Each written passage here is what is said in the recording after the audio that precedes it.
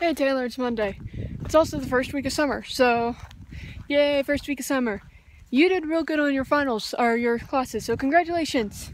Good job making the dean's list. Uh, now you can tell exactly when this video was being recorded if you couldn't already tell by the fact I said good afternoon. Or did I just say hey, hey Taylor? I don't remember. Anyways. Uh, so yeah, first week of summer. You did really good on your classes. At least this is the first week of summer to everyone who's a college student. High school students, you guys still have a little bit. Actually, anyone who's in grade school still has a little bit.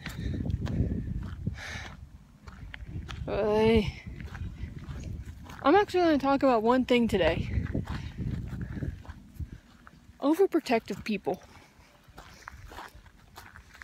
Strangely, not from my own family my own family said the same thing everyone else has said, basically.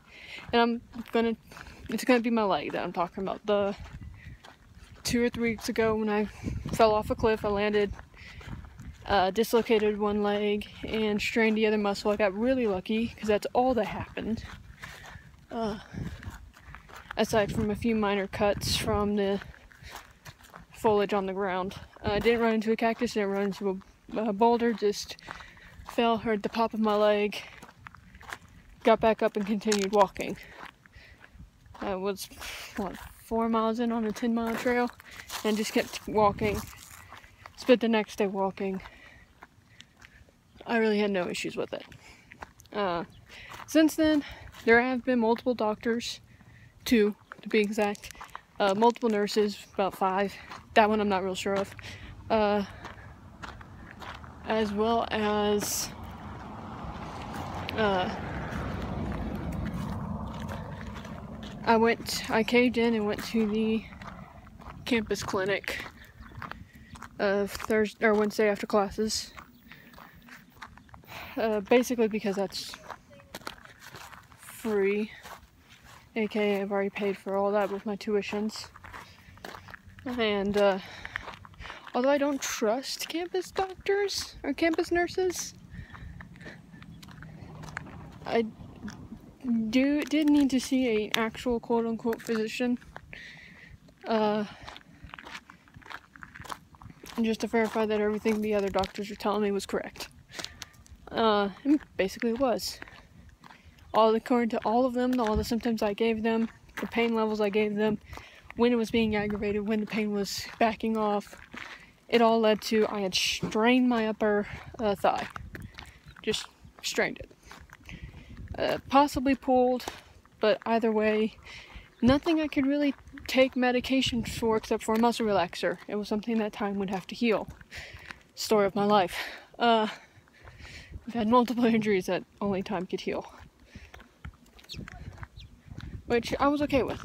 All of them also told me that there was no point in getting an x-ray. Uh, from the area that was in pain to when the pain was being triggered, it all pointed to a sprain. An x-ray would only reveal if there was something wrong with the bone itself. An MRI would, one, be way too expensive, and two, would probably just reveal the same thing that they just did. It was a sprain. So what I was told was stay off your leg for as long as you can. Get about miles walking a day just to make sure that the muscle is still working and take a muscle relaxer a day. Two of those three I've been following. Considering I'm not a fan of actual medication, I can probably you can probably guess which one it is. Though the pain is only like real bad at when at the end of my walk after I've run it but it never gets over five. It only ever got a seven to a seven when I jumped over a fence and landed on my leg. Which is one of those duh moments. Why did you do that? Which the answer is I followed my teacher.